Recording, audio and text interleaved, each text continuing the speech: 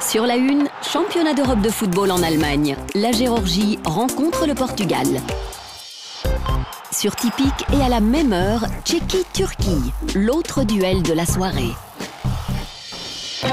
Sur la 3, malgré les conséquences, la vengeance a les yeux clairs. Sur RTBF Ovio, série documentaire accro aux écrans. Attention, danger. Sur la une et sur Typique, Euro 2024, deux matchs en direct. La vengeance aux yeux clairs en audio description, accro aux écrans. Faites votre choix sur la RTBF.